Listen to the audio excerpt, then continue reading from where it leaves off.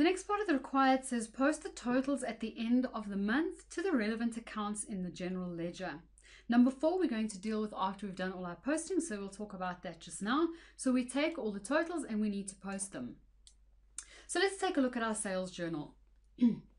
the sales journal 322 2300 and 2622 my vat output is a an account that goes to our statement of financial position so that is a b account my sales account goes to N1, it's a nominal account, and my debtors control is an asset account and it'll go to B2. Now, before we go and put this entry in the general ledger, keep in mind that when we started off with the journals, we spoke about the fact that every single transaction can be represented as a journal, as a general journal.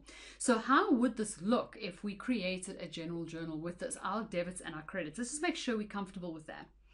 In terms of my debits and my credits, in this case, I would debit my debtors control, okay? Because that represents my asset and my asset increases on the debit side. So 2622 is my debtors control.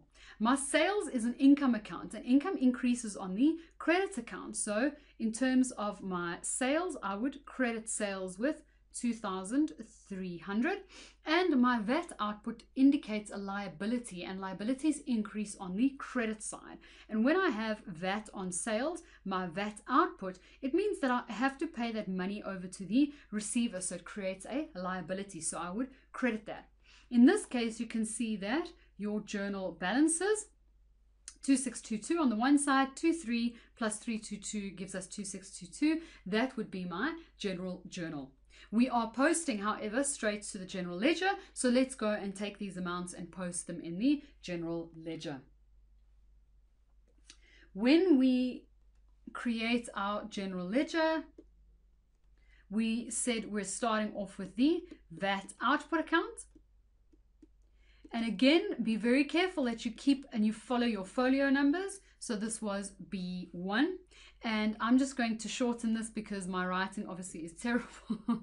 so my VAT from my sales journal was 322. Keep very sure and make sure that you always indicate your folio number. And this was on the 30th of November. My sales came next. This was N1 and I credited my sales on the 30th of November my debtors control. It also came from our sales journal one, and that was for 2,300. My debtors control account, again, I'm abbreviating. I really don't suggest you abbreviate in the exam. 30 November. And this is from my sales, comes from our sales journal one, and the total there was 2622. So that is my all my totals for my sales journal has been posted. Make sure that you write these under as you're posting so that you know exactly which columns you've posted and which you haven't.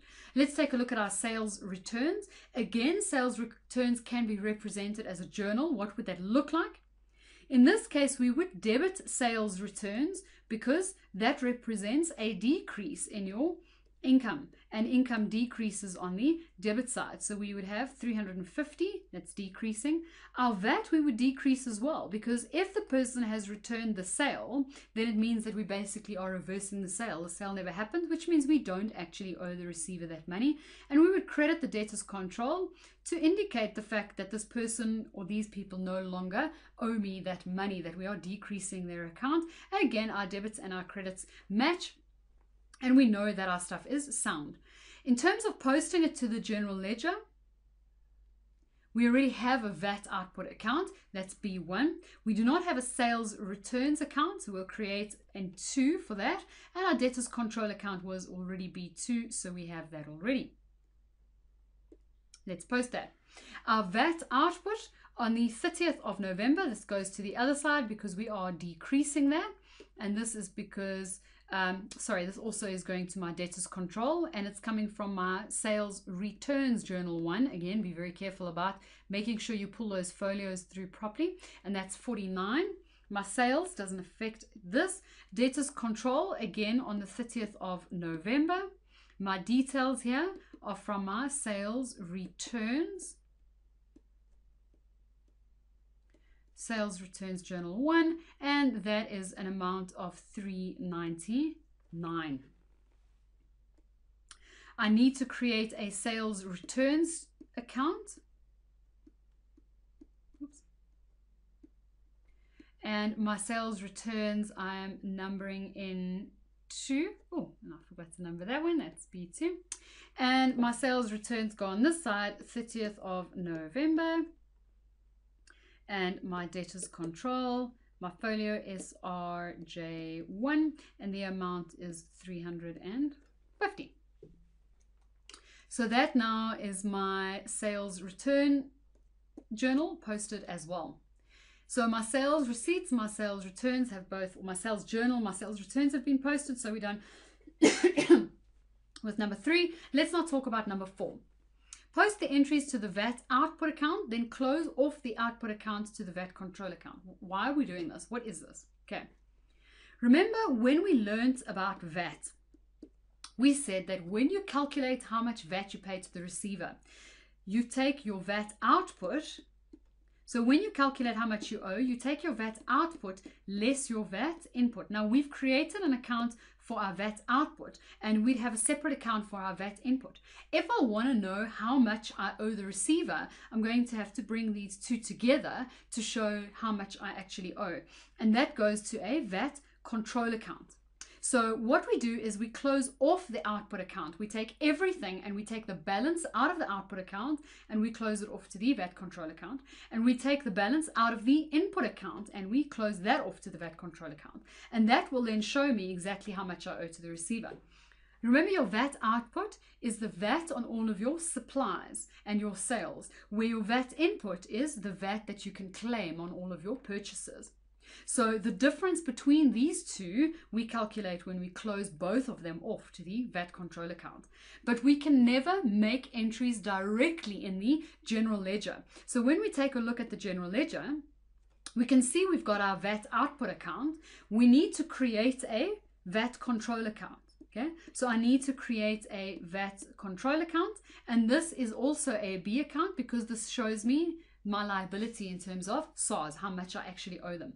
But I can't just go and put amounts in here because we never post anything to the ledger directly, to the general ledger directly. It always goes through a journal first. So we create a sales, sorry, a general journal for this. The question is how much? In order for me to figure out how much I need, let me take a balance of this and see what the difference is. Because I've got items and amounts on the debit and the credit, I need to know what the difference is so that I know exactly how much I need to take out of this. So my higher amount here is 322. So if we say 322, so the difference between 322 and 49 is 273. So in order for me to make this zero, I'd have to pass a transaction for a journal for 273. So let's pass a general journal. My general journal for November 13, and again keep in mind we number this, my page number. On the 30th of the month, I will have to debit my VAT output account in order to make it zero and I'll have to debit that by 273 Rand.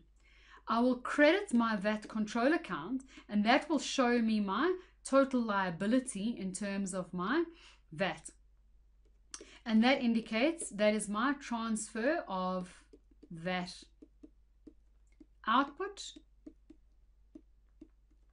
to the VAT control account.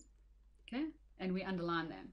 And then we need to post that journal through to the general ledger. I already have my VAT output account, that was B1, and I created a VAT control account was B3. So I need to put that in there. My other side of the journal there is going to go to my VAT control, and that came from General Journal 1 on the 30th of November. And the other side of the journal is going to go to my VAT control account. And that came from my VAT output. The other side of the journal is my VAT output, and that also came from General Journal 1. That's where you'll find it, and it also was for 273 Rand. So that indicates exactly how much I owe the receiver at this point in time is 273. I haven't seen and I haven't done any transactions for any purchases that have my might have any purchase input, so or any VAT input, so I've got nothing to take off of that. Again, there's a lot of detail, a lot of marks in here to make sure that you get your folio numbers right, to make sure you get the VAT right. Lots of small little detail. It's going to take some practice to make sure that you get each one of these little journals right, that you get each one of these columns right. Um, it doesn't seem like a lot of transactions when you look at it, but when you're finished with it and when you're done with it, there's a lot of information that comes out of there. And guys, the only way you're going to get this right is by constantly practicing this yourself making those little mistakes where you forget to pull the folio number in or you forget to get the right amount, you forget the calculation, make sure you practice this so that you do start getting it right. But get it right, you need to. You need to work on this and make sure that you're comfortable with where all of this fits in and your debits and credits. So make sure you've attempted this, make sure that you've attempted the questions in the TUT letter and um, make sure that you're comfortable with the concepts that we've covered.